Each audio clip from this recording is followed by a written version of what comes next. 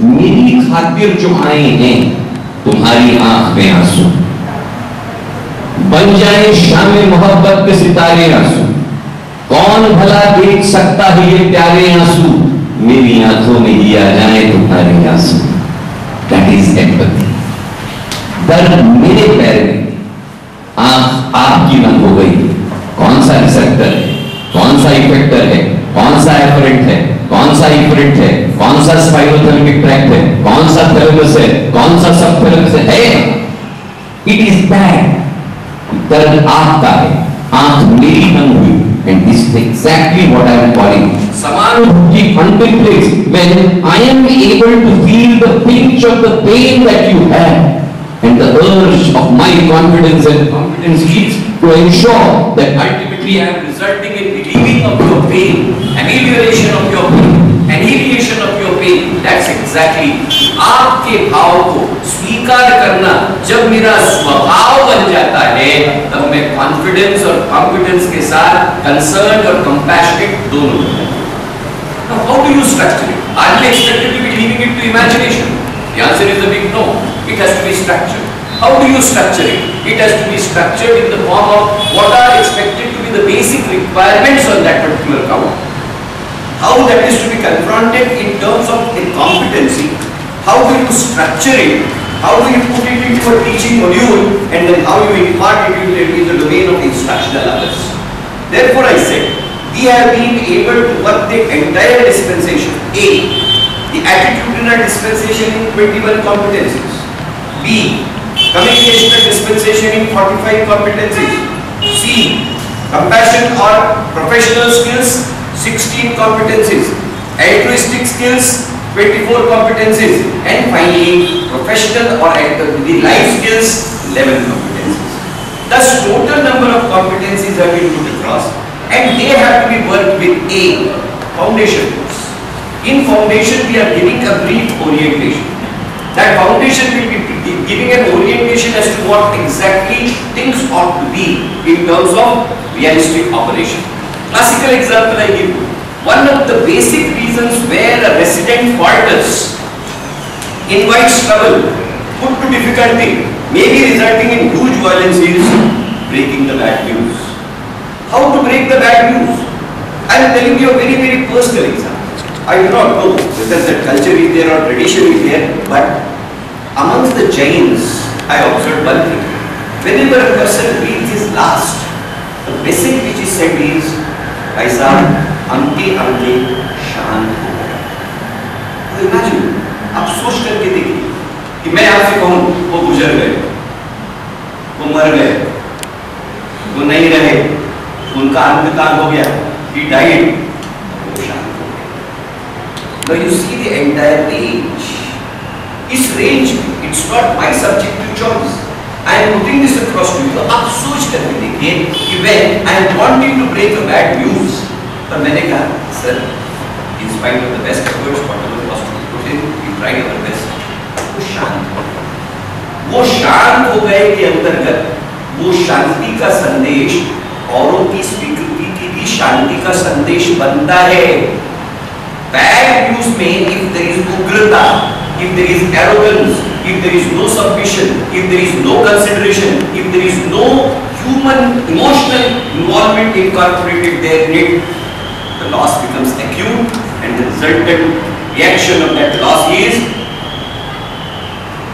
nature nature let us put ourselves into a situation a bad news is being communicated to me by my treating physician and he says आपकी आपकी माता जी को देखा सब प्रयास किए डॉक्टर साहब आपकी माता जी शांत हो गई आपकी माता जी शांत हो गई इस भाव के अंतर्गत आप स्वीकार कर लेते हैं कि हाँ अब उन्हें शांत हो जाना चाहिए था except and this is exactly what I want to put across in therefore ladies and gentlemen what i am hinting at in the other day in our casual conversation with professor russell i made a small little observation that when we are talking of bioethics, for the purpose of inculcation of concern and compassion, what exactly it is?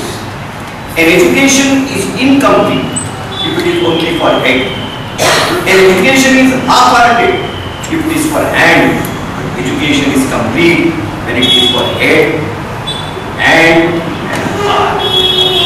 Your and my education was for head. Cognitive domain. Your and my education was for and psychomotor and critical skills. Where was the education for her? Intellect does not get hurt. Hands do not get skill does not get hurt. ये उसकी टूटल पीड़ा में परिवर्तित हो तो गई पर सामान्य को पीड़ा नहीं दिल टूटता है चरमराता है दिखाता है रोता है and therefore I am saying it is affective domain does not mean a mechanical domain affective domain basically means emotional domain Affective domain basically means cognitive domain. Effective domain basically means, permit me to say so, it is education of heart, heart and heart and those who are oriented to education of heart, they know it that they are not supposed to hurt, hurt, hurt because खिजाओं नींद रिश्ता का कोई संबंध नहीं कली की मौत का भी बात का को गम नहीं होता काश तुम तो ये हकीकत जानते होते कि दिल के जख्म करने का कोई मरहम नहीं होता। It is that murder which is to point and and therefore education of heart I always say bioethics is education of heart heart which is the seed of emotion heart which is the seed of pulse and pulsatility pulsatile, what does it, what exactly pulsatile behavior means?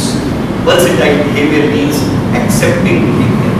Accommodative behavior behavior which assimilates and behavior which makes sarva all inclusive behavior is a behavior which contributes or which is said to be generated out of the seat of heart and therefore health professional education independent of the nature of the profession as Mrs. Mishra was speaking of whether it is nursing, whether it is homeopathy, whether it is Ayurvedic, whether it is paramedic, ultimately the education of art which is mandated. We have been able to plan the education of head very well. बुद्धिमान लोग हम पैदा कर रहे हैं We have been able to create very competent professionals in the domain of skills. But perhaps we need to create the professionals who have got their heart intact, ensuring that it will not cause any hurt to anybody and that non-causation of hurt is expected to be the hallmark of bioethical considerations of ethicality, morality, value basis and other situations. Last, one consideration which has to be very practically made. People ask me and therefore I am telling you real life situations.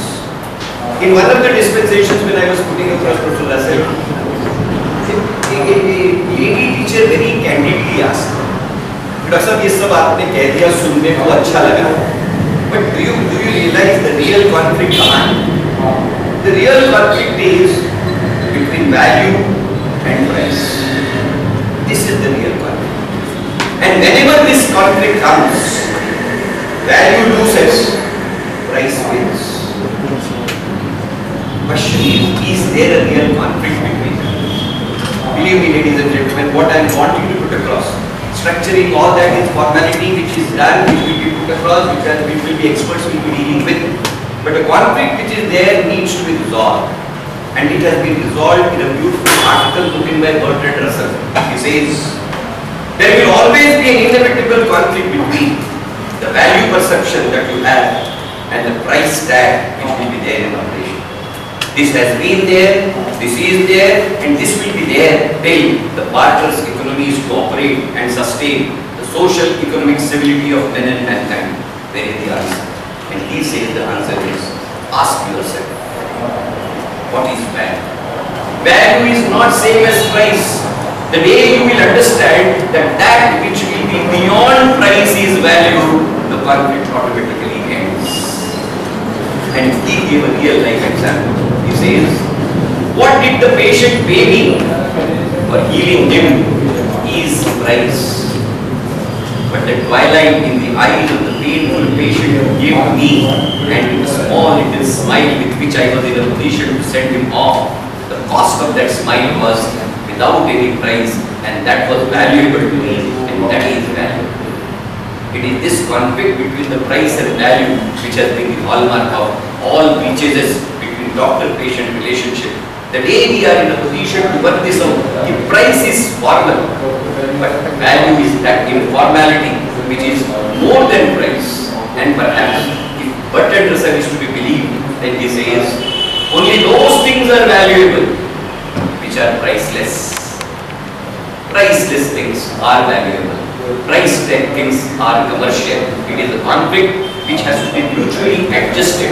And if that adjustment gets going, believe me, ladies and gentlemen, we will be back to the days of ideal doctor-patient relationship, core concept of what family physician was in the real essence, and various commercial features which have resulted in a distrust between, between the two that will stand bridged. That one of the important modalities of bridging that distrust is bioethical program in terms of saturated orientation for teachers to be inculcated amongst their learners in the form of structured syllabic mechanisms duly taught, trained and oriented, examined and certified so that at the end of it you are able to say so that now this passing graduate is not just competent, confident, but we expect you to be concerned and compassionate basically because we have trained, tuned, oriented and certified in the domain of learning not only his head, not only his hand but also his or her heart and therefore integration of head, hand and heart means a bioethical integration of a biological cell or dispensation of a larger cell. These were the cardinal principles operationally which I wanted to put across, sharing with you that AETCOM and competency-based module which has been worked out turns out to be a good example for the purposes of operational replication by all health professional setups in the interest of health professional education. Last, it's not just a blind replication. There will be need-based alterations because philosophical contours of that particular specialty or profession have to be kept in mind. When you are talking about the bioethical principles governing Ayurvedic system, the ethos of Ayurveda has to be kept intact when you are talking of the ethicalities included. But principles remain, the core principles. I always say, Sashwat part, Asashwat part. Immortal part, mortal part. The immortal part of code of medical ethics remains common any and every specialty of operation, we are introducing that for the purpose of bringing a desired radical change, as I said in the morning, if humanity needs health profession, humanization of health profession is mandatory and this humanization is not possible without the intervention which is called as teaching, orientation, learning, update and operation of governing bioethics Thank you very much.